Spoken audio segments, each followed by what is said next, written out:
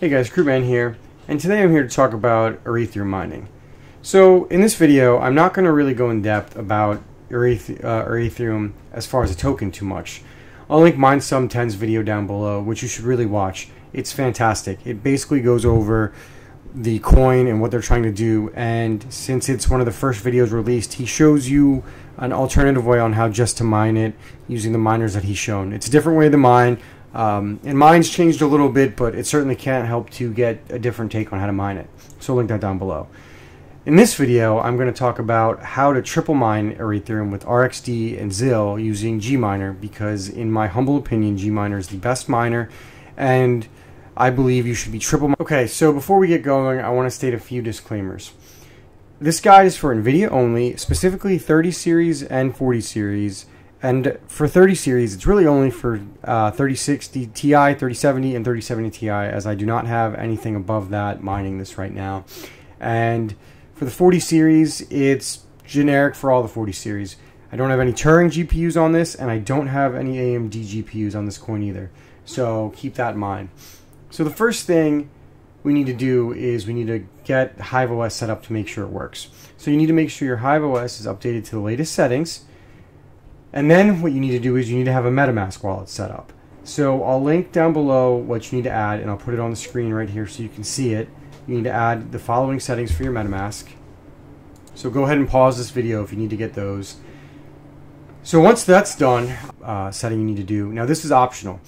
I prefer to mine on K1 pool because it has the best ZIL yield. And to make sure you get the ZIL pool fee, you need to put another coin on K1 as well. And I use the RXD pool for K1 um, you know you get the most ZIL yield and that is you know up to 15 to 20 percent of your profit. So i think that's very important to me or important that you do it. Another thing with k1 is if you could it would very much help me if you use my referral link. I will get 0.1 of a single percent of your mining rewards and it would help my channel greatly. Now that's completely optional. I would appreciate it if you do it but you don't have to either way. So i have a link for my referral code down below and then you if you don't want to use that you just join without that code so, but either way, whether you use my code or not, you should be using K1 Pool.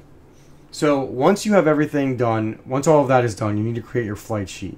It needs to primarily be set up as Rethereum or RTH for the first coin, and then RXD as a secondary coin.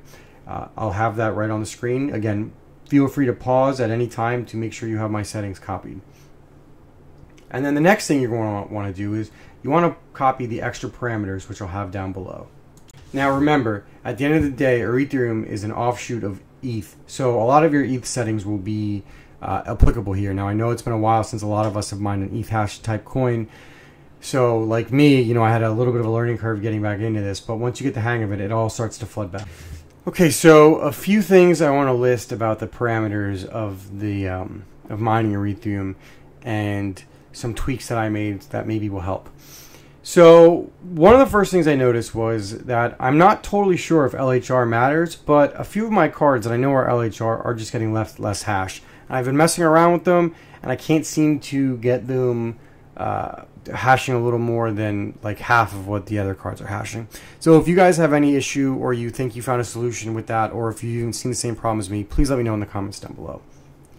So the first tweak I want to go over is the A12R command.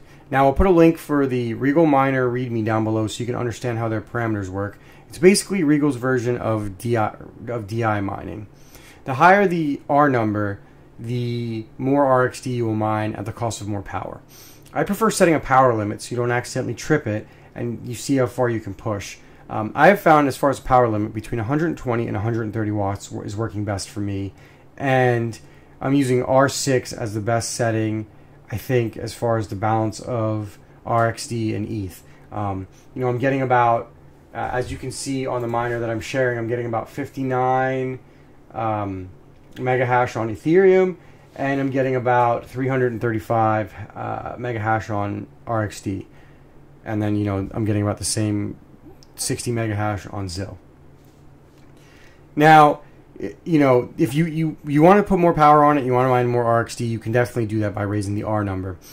Uh, with the 40 series, I have found that if you, you want to use R8 on the lower cards, like the 4060 Ti or the 4060 through the 4070 Ti, and R18 on the 4080 and the 4090, I'll show my 4090 settings right above here. They're not perfect. I'm trying to find the balance between using too much power and getting too much Rethereum. I still haven't found what I've liked. This is what I find acceptable. I'm going to spend some more time on the 40 series and maybe release an update an updated video in the future. Another thing for the 30 series is that you want to start by setting the mem clock at 1200, you know, like we would do before when we were mining ETH. But if you're not getting the hash you want, you want to push it higher. You know, I have some rigs that are at 1200 and I have some that are pushing 14 or 1500. It really just depends on the rig and the card and how much uh, Rethereum hash you want. Uh, now, one more thing, and I think this one is important.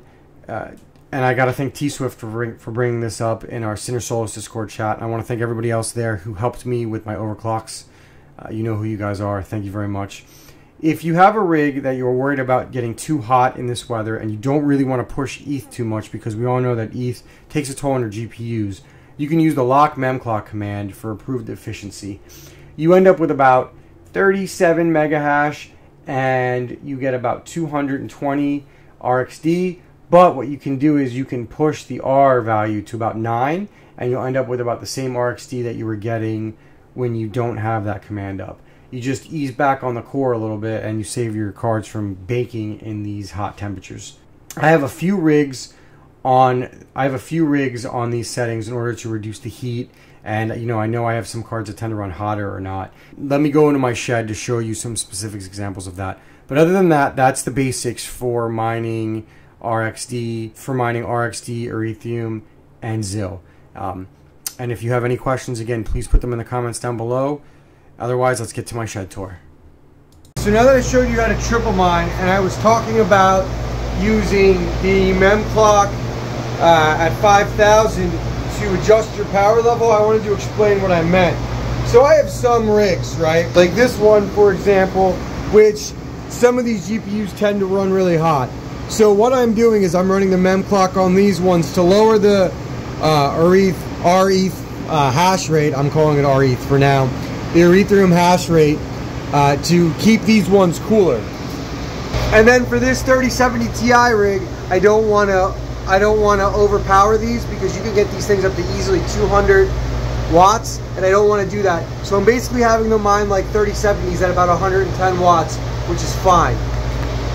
And then another example, this rig has some GPUs that tend to get hot, this 11 by 3070 rig, so I'm doing the same thing.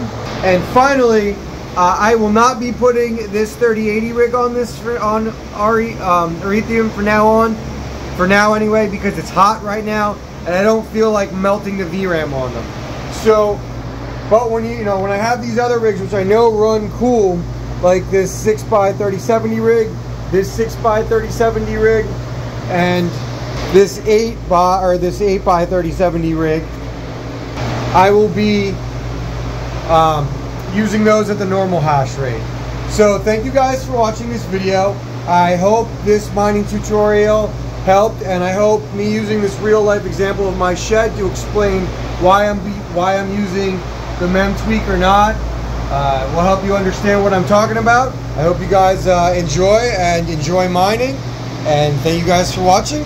Krootman out.